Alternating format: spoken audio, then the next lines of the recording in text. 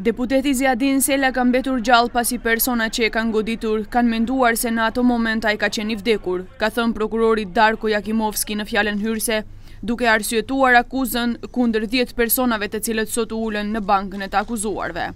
Ata do të përgjigjen për tentim për vrasje ndaj liderit të Aleancës për shqiptarët më njëzet e shtatë prill në Kuvend. Ai shpjegoi se lëndimet e shkaktuara në kokën e tij kanë rrezikuar jetën e Selës.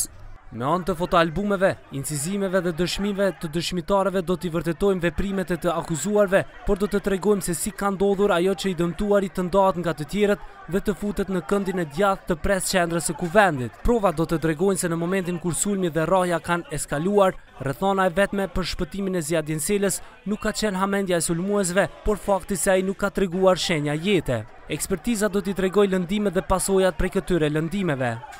Sela sot nuk u përball me sulmuesit. Ai është thirrur në seancën e ardhshme si dëshmitar. Avokati i tij paralajmëron se do të kërkojë dëmshpërblim. Siç tha edhe prokurori publik në fjalimin hyrës, Sela shpëtoi për shkak të faktit se nuk ka dhënë shenja jete. Në këtë fazë të procedurës, Kërkuam t'i bashkangjitemi përndjekjes penale të të akuzuarve dhe parashtruam kërkesë për dëmshpërblim dhe në lidhje me shumën do të informojmë në seancën e ardhshme. Për avokatët e të akuzuarve është mirë që rasti nuk ka përfunduar me pasoja me vdekje. Të akuzuarit pohojnë se akuza është kontradiktore për shkak se nuk e kanë kryer veprën për të cilën akuzohen, tentim vrasje, dhe pohojnë se do ta dëshmojnë këtë gjë. Një pjesë e tyre pohonin se goditjet që i kanë shkaktuar Selës nuk kanë qenë fatale për jetën e tij.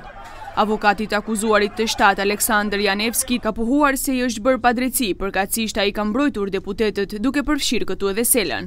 Në pyetjen e gjykatëses Sllavica Andreevska, të gjithë të akuzuarit u deklaruan të pafajshëm. Në seancën e ardhshme që është caktuar për më tetë shkurt, përveç Selës, do të dëshmojnë dy dëshmitarë dhe ekspertë mjekësorë.